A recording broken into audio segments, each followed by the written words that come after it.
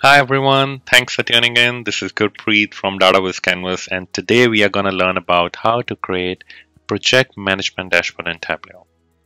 It is really important to visualize the timeline of projects that we are working on in order to manage and deliver them on time. So we normally use multiple tools or software to achieve that result, but if we can get the data structured in the way we want, then it's really easy and simple to create it in Tableau. So let's get started. As you can see in this dashboard, we are working with 12 total projects and we are showing the project by status, out of which six of them are already closed, three of them we are working on, and three of them are currently open. And we are also showing the projects by priority. Like high priority, there are three of them which are in high priority, two of them are in progress, and one is already completed. Same way, there are two low priority tasks, one of them is in progress and one is already completed. And the medium priority one are shown as below as well. And on this pie chart, we are trying to show how much percentage of tasks are already completed. So in this case, you can see 50% of the tasks are already closed or completed, 25% are in progress, and 25% are still open, which needs to be worked on. And at the bottom, we are trying to show the timeline of each project by their task. And also if we have a dependency on the task, as you can see in this case, for project 2, there are three tasks, and task 2 and task 3 are dependent on each other. So when the task first task is completed, then only the second task can be started. And same way, the third task can be started. So that way we can see the timeline of all these projects. And at the bottom of the screen is the time axis, which we are trying to show it in days and months. So you can see the duration of this task for project 3. It's like quite a long 36 days of duration. And we can see that this, this particular line, we are trying to show the current date. So as of today, so today it's 8th of February 2021, and we can see how many tasks before that date has already been completed. So you can see these six tasks are already completed, six projects basically. And this particular project is in progress, which started in Jan, early Jan, and it's still in progress. And we are expecting it to be completed on 8th of February. Uh, no, actually, in this case, we are expecting it to complete around 16th of February. So this chart is quite easy to create in uh, Tableau. So first of all, I will show you how the data need to be transformed or created. So in this case, I am just using a simple Excel spreadsheet where I have listed down all the 12 projects with their tasks and we have all the projects here and all the tasks under that. So as I mentioned earlier, project 2 has three tasks. So each of them have the dependency task in this scenario. So task 2 has a dependency task on task 1. So unless the task 1 is completed, we can't start task 2. The same way task 3 has a dependency on task 2. So that I will show you how to build that one. Then we have the priority, the start date, completion date, and their status and we are trying to show the duration. So even if you are getting this data from uh, Jira or Microsoft Planner, if you can manipulate and manipulate the data in this way and structure it in this way, then we can simply use this data structure in Tableau dashboard and we can automate the end-to-end -end process, so which is quite handy. So let's get started with a blank workbook. And in this case, I have already connected to the Excel spreadsheet, which I just shown you. So first of all, how to create the timeline in Tableau.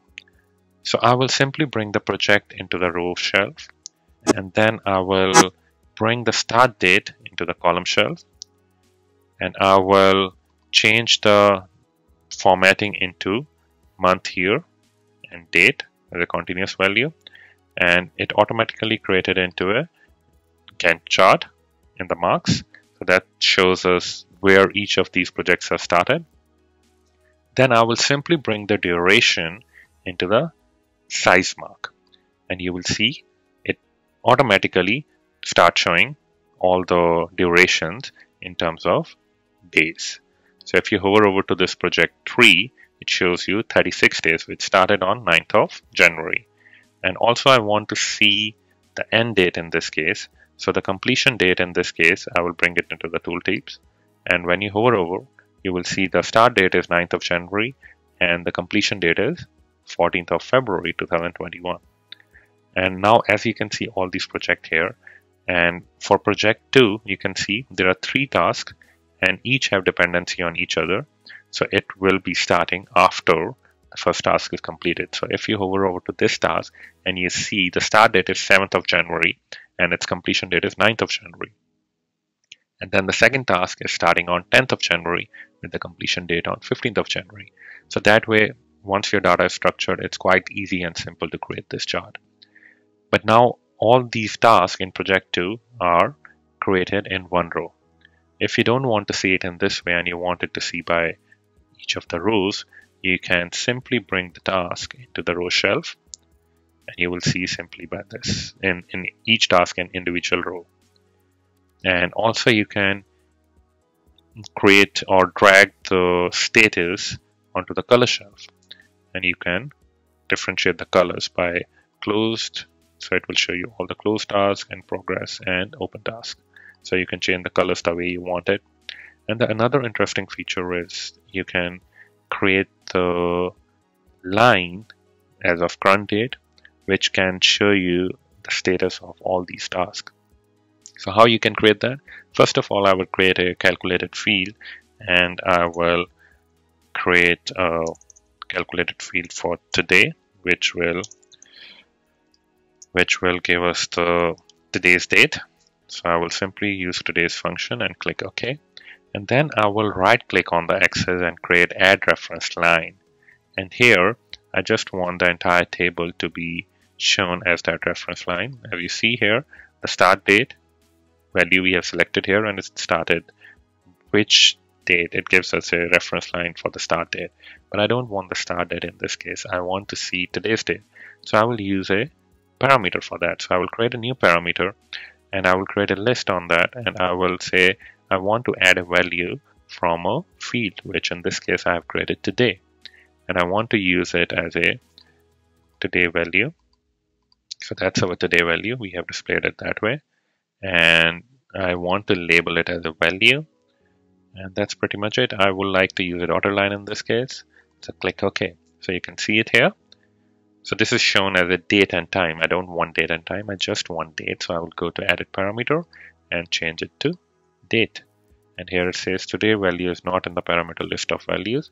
So because we have changed the formatting here, so I will just bring it again from here and I will show it as today. Click OK. So it will show us the date as a reference line. So we can see how many projects are completed or are in progress as of today. So that's an easy way to do that. And another thing what we can create as I shown you in earlier, we can create simple charts. Uh, you can do formatting as the way you want it. So I want to see all the tasks by status. So I will bring the status in here. I will bring the projects here. And I want to see projects as a measure value and I want to do the count here. So I will simply use it as a bar chart to just show the count of all the projects which are in progress, closed or open. I will simply use the colors here. And the same way I can use it for, I will create a duplicate sheet and I will use it for priorities. And I will, instead of status, I will use a priority here. And you can see the colors changed in terms of priority. And I don't want to show the headers, but I want to show the labels. So I will show the labels here. And this I will show projects by priority and here in this sheet I will show projects by status and our first sheet was timeline okay so now we have these three tabs created. So now we can create the dashboard. Uh, I will use the floating um, floating container in this case. So I will simply bring the timeline in here.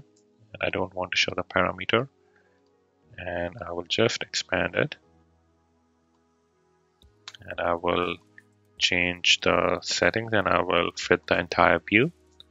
I don't want to show the label here because it's obvious quite obvious. So I will keep it this way. So we have all the projects and tasks in this way. And I will bring the projects by status here. And I will do the same thing here. I will hide the headers and I will fit the entire view.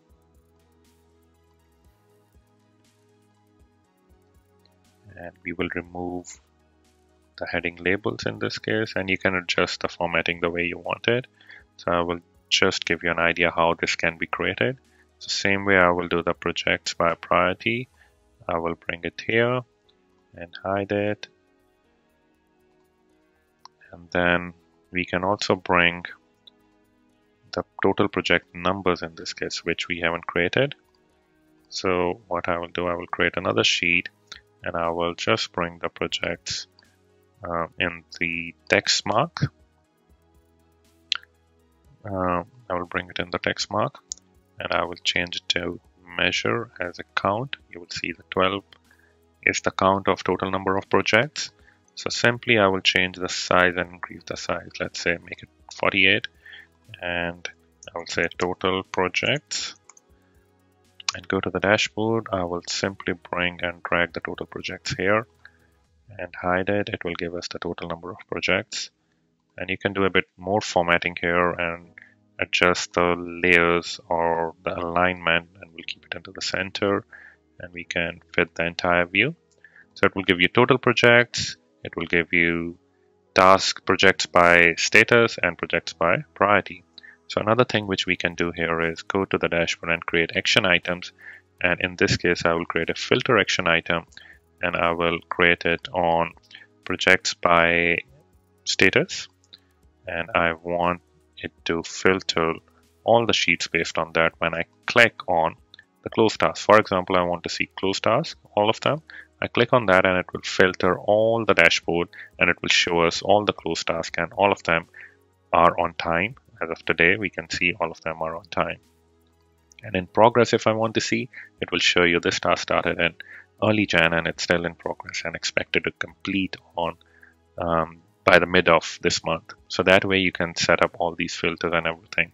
And it's quite easy to use and you can integrate it with any of the existing project management tool and extract the data on automated uh, jobs by automated jobs and you can achieve these results. And once your dashboard is completed, it will look something similar to this one, which I have already created. And same way I added these fill filters. And